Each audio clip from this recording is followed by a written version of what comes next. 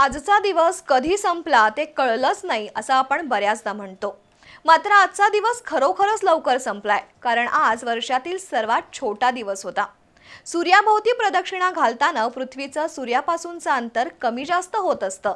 त्याप्रमाणे दिवस आणि रात्रीच्या कालावधीत बदल होत असतो.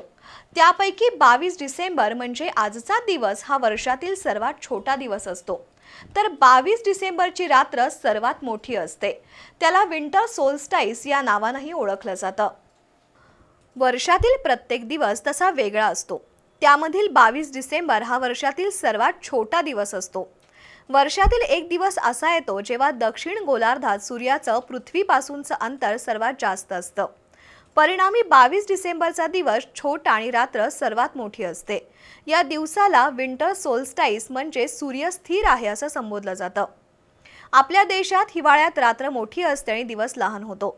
आजच्या दिवशी सूर्य दक्षिणायनातून उत्तरायणात प्रवेश करतो.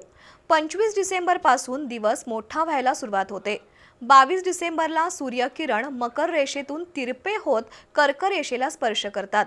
त्यामुळं सूर्यास्त लवकर होतो आणि रात्र लवकर सुरू होते. पृथ्वी आपल्या कक्षेतून एक लाख पाच हजार किलोमीटर तासाच्या वेगानं सुमारे एकोणनव्वद कोटी चाळीस लाख किलोमीटर लंब वर्तुळाकार कक्षेत सूर्याची परिक्रमा करते. बावीस डिसेंबर रोजी सूर्य सगळ्यात जास्त दक्षिणेकडे असतो. या बिंदूवर सूर्य असताना बावीस डिसेंबरचा दिवस वर्षातील सर्वात लहान आणि रात्र सर्वात मोठी ठरते. पृथ्वीचं अक्ष तेवीस पूर्णांक पाच अंशांना कललेलं असल्यानं हे घडतं. बावीस मार्च रोजी रात्रीचा आणि दिवसाचा कालावधी सारखाच असतो. विशेष म्हणजे विंटर सोलस्टाईस जगभरात वेगवेगळ्या पद्धतीनं साजरा केला जातो.